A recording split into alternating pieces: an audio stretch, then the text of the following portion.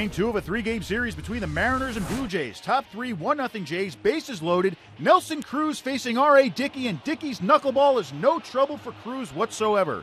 That's a grand slam, Cruz's 24th homer of the year, 4 1 Mariners. Top of the sixth, now 6 1 Seattle. Runners at the corners. Nori Aoki facing Jesse Chavez, and Aoki gets his second hit of the game. He would single in Chris Iannetta, 7 1 Mariners. Next batter is Seth Smith, and he follows Aoki's lead with an RBI single of his own. Shawn O'Malley trots in, and it's 8 1 Mariners. Same inning now 9 1 Seattle, and the Mariners are relentless.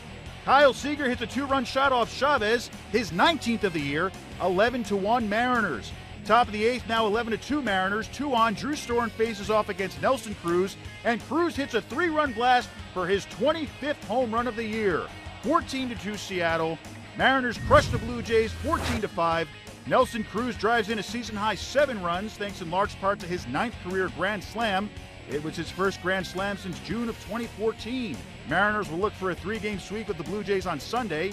Wade Miley will take the hill for Seattle. He'll face off against Toronto lefty J.A. Happ.